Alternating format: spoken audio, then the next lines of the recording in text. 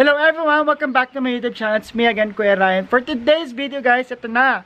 Ito na ang inaabangan ninyong cabin tour dito sa may ah, hotel. Ay, ay, hotel ba? Sabi nga sinabi ko, di ba? Mali-mali na naman po tayo mga beshi, no? Ito na ang ating cabin tour dito sa may British Columbia. We stayed at the Nipika Mountain Resort. Kung i-google natin siya mga besh, malapit po siya sa may radium. Hindi ko alam kung sakop ba siya ng radium. Hindi na pa, hindi na pa kami nagpunta sa may mismong radium hot spring or sa may downtown ba ng radium ba. Ewan ko besh. We decided to do a staycation para relax lang tayo mga besh. So, we stayed here for 5 days, 4 nights para talagang bonggang relax lang. Di ba ma? Relax lang tayo, di ba ma? Relax na rin. Relax lang. Hindi na tayo nagpunta ng downtown para talagang push na. So for today's vlog, sabi ko nga kanina, is cabin tour. Pero bago na tayo magsimula ng cabin tour mga beshi, no? Paano mo lahat? Kuha na doon lahat. Ay, gusto ko ipakita sa inyo kung gaano kaganda yung lugar. Kasi hindi nyo ma-appreciate kung gaano kaganda ng cabin kung hindi natin mapipicture na kung gaano kaganda yung lugar. Ayan po yung lugar ng mga beshi. We are surrounded by pine trees and mountains. Ayan, ayan. Ganyan po siya kaganda. Marami po siyang cabin na hiwa-hiwalay po mga besh. And uh, bawat cabin po is iba-iba po yung kanyang uh, occupancy kung gaano po kadaming pwede. Ito pong cabin na napili ko is 5 beds and 2 bedrooms. Tapos yung couch niya po dito sa labas is pwede po siyang humiga pagigaan. O, di ba? Pull out couch po ang tawag ng mga beshi. Ayan po si Mami Daddy. Ang tawag po sa cabin na pinili namin is yung ah, Cross River Cabin. Nandito po siya mga besh. Ayan. Cross River Cabin. Ayan. So, liga na dad. Puntahan na natin yung ibang mga cabin. Halika, puntahan natin yung ibang mga cabin. Video mo nga yung ano, yung solar para makita ko yung talagang ano. Oh, ganun. Oo. Halika. So, ayun nga, 'di ba? Sabi ni Daddy solar power kasi ang wala kaming electricity dito, walang wifi. So, kung ma-upload ko to medyo late na nga kasi nga pagbalik namin ng Calgary, saka ko siya ma-upload. Pagbalik, pagbalik namin ng Alberta. Tapos bigyan mo ko ng kopi. Ah, bakit ka bigyan ng kopi? Nasa YouTube to.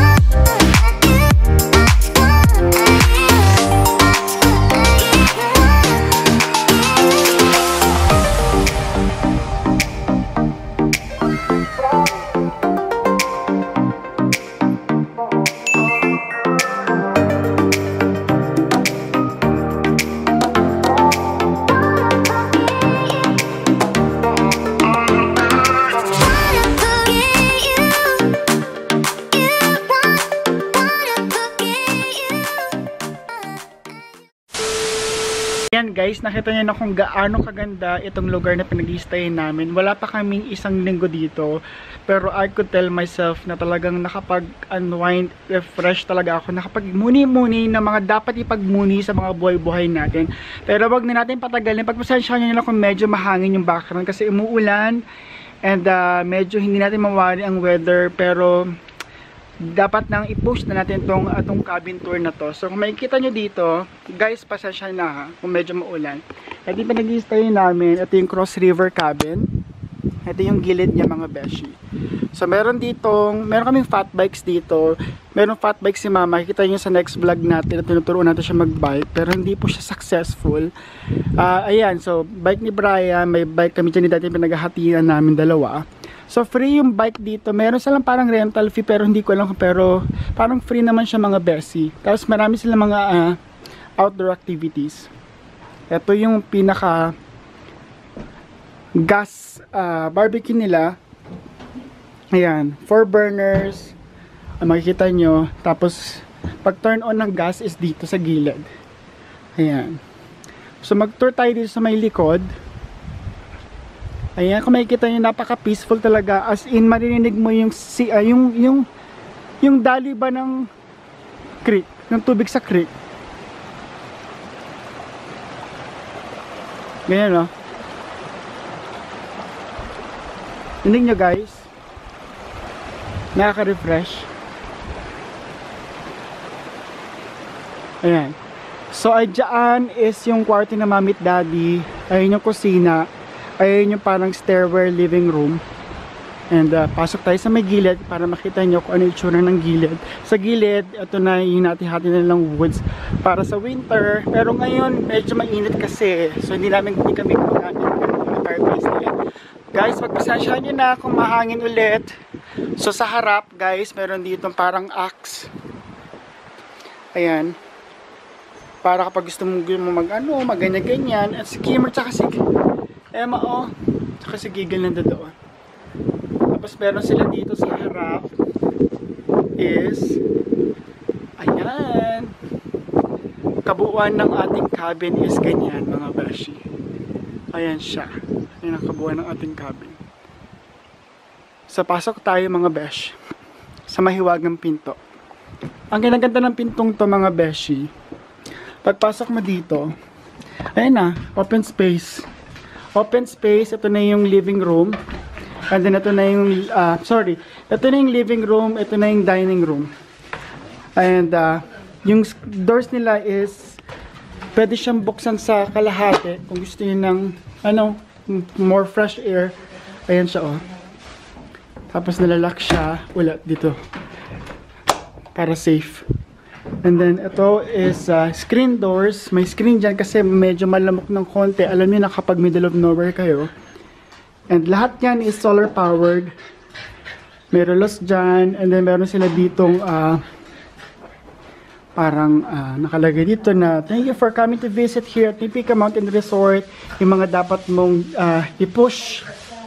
And then meron sila ditong ah, yung mga ah, yung pa- papush dyan, mga mayor. Pag di mo malaman kung ano yung dapat mong sabihin, push na lang sabihin mo mga besh. Tapos si Kimber tsaka si Giggle, oh, hyper na naman mga besh. So, may pa-table sila dyan. Etong mga lamp nila, guys, is gumagamit lang sila ng konting electricity dyan. So, hindi siya masyadong malino, pero carry bells naman. Ayan ang design niya sa gilid. And then, fireplace. And then, sa gilid na to is wood. Tapos, sapatos ni daddy nilagay niya dyan. Ah, meron ditong mm, ah, newspaper. And then, yung maliliit na wood, parang pag mag-start ka ng, ng ah, fire, mas madali siya. Oh, sorry. Natapakan ko si Emma. So, pa dito, ayan yung ano niya. oh. Mag-start ka na ng fire. Ayan. Tapos dito is meron silang parang, Hi Emma! Sorry naman, bunso. Dito is yung parang extra nila, extra bedding, extra pillow kapag gusto mo. Kasi itong sofa nila is pwede siyang gawing kama. Yan. Mas meron ditong chair na pwede mong i-recline yung chair. Ito na yung living room. Ah, total na pwedeng mo po dito is 6. So, 1, 2, 3, 4, 5, 6. Tapos merong pa-mirror doon. Ang dami nilang shelves dito. So, dito nagamit namin lahat ng mga hooks nila. Hooks. May hooks doon, may hooks dyan. Yung hooks dito. Ito nilagyan namin yung mga leashes ng mga dogs namin. Tsaka harness. Pagdating dito, meron silang pa-scrabble, meron pa silang pa-jenga. Lahat yan di ano, ah, provided na ng ah, resort. Meron silang heater dito kapag siguro kapag nag-snow, kailangan talaga ng heater. For safety, meron sila ditong For safety, meron sila ditong fire extinguisher. Ito sila mami daddy is nagpe-prepare ng kakainin namin mamaya. Ano yan ma? Yan lang. Wala, salt and pepper lang to. No? Yeah, salt, pepper, tsaka oil. Yan ah, meron na ulo. Oh, Mm. yan. Mo na ito ng. Yan. Ito na yung pinaka lang. living, ah sorry, kitchen namin. Medyo maliit pero ca- carry, di ba? So, Provided na yung mga plates, glass, wine glass, cups, lahat na yan ng ah, resort. Pati yung mga lutuan, provided na yan. Pati ito, provided ng resort. Mismo yung sponge, pati yung mga dishwashing liquid, provided nila. At yung cutleries is provided na rin nila. Ito yung mga gamits pang luto is provided na nila. Ito. Ito is powered din ng gas. Ito yung ref nila. Ayan. Makikita nyo is paubos na kasi pauwi na kami bukas. Ayan. Pwede ito dito sa gilid. Ito yung back door. Ayun yung luto, ayun yung barbecue. And meron pa silang extra hooks dito. Ayan. And then, may Ayan, wala lang. Parang storage area. Ginawa namin, nilagay namin dito yung trash bin para hindi mga may sa loob. Ayan. So, pasok na tayo sa... Ay, ito pa pala extra. Marami silang hooks talaga dito. Itong hooks na ito. oh. Hooks ganda. Ayan. Puan. Washroom. Huwag na tayong mag-delve dito sa washroom ng bongga. Kasi wala namang masyadong ipupush dito sa washroom. Ayan tayo, mga besh. Hello! Miss ko kayo. ah. Ha. Siyempre, di mawawala ang tabo, forever tabo. Tapos para makatipid, meron sila dito parang lalagyan na container na talaga, oh. Pupush mo na lang siya diyan. Tapos pati, same with the body wash, shampoo, tsaka conditioner. Pero meron akong sariling shampoo kasi pag gumamit ng ibang shampoo, ah, nangangati yung aking Julo. Ewan ko nag ah, ah, nagkakaroon ako ng ah, dandruff kapag iba yung shampoo na ginagamit ko. Tapos kapag tumatay ako, kailangan meron tayong Bahamas na Bath and Body. Kasi mabaho ang ating Jebax. So, akit na tayo. So, pag akyat, ito na yung stairs. Ito, eh, sa gilid, makikita mo yung parang outlet nila. Manag, ewan ko, ano pa mangyayari dyan? Eh, powered naman siya ng solar. Ito, another window. Okay tayo. Lapit na tayo matapos, guys.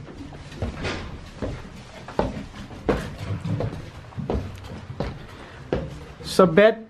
Pagpasok, pag akyat mo dito is may bed. And then another bed. Hindi na namin siya na-occupy kasi ilan lang kami, di ba? So, pwede dyan isang tao. Pwede dito isang tao. Pwede dalawang taong maliit or dal- kids. Tapos may lamp din silang tigisa. Ang ginawa namin is nilagay namin yung mga mga ano yung mga dapat lalagyan dyan. Naging pake na si Brian. Dito yung kwarto ni Mommy at Daddy. Mag actually magkahiwalay tong kama. Pinagtabi na lang ni Brian para magkatabi silang dalawa. Tapos may dresser dyan. Buksan natin. Ayan. Mas maganda, mas malinaw. So, ayan. Um, tapos may lamp. May ano dito, may, may table. Ito yung sinasabi ko sa inyo yung side nila Mami at Daddy. Meron silang stream of water sound. Nakaka-relax. So, ayan. Punta tayo sa kabila. Ito yung kwarto namin ni Brian. May tayo maumbok yung sa akin kasi may comforter yun sa akin kasi gusto ko yung ma malamigin ako eh. So, ito yun sa akin. Ito may dresser. Ayan. May window.